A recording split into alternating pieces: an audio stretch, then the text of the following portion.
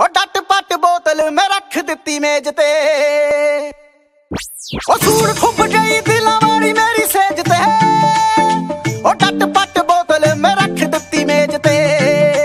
ਮੇਰੇ ਹੱਥਾਂ ਵਿੱਚੋਂ ਮਿੱਟ ਗਈ ਲੱਗੀ ਰਹੇ। ਕਾਨੂੰ ਗੈਰਾਂ ਦੀ ਤੂੰ ਬਾਣੀ ਤੱਕਦੀ ਰਹੇ। ਲੜਾ ਕੇ ਅੱਖੀ ਅੱਖਾਂ ਫੇਰ ਗਈਆਂ ਹੀਰੇ। ਉਹ ਤੈਨੂੰ ਵੇਖ ਮੇਰਾ ਕਾਲ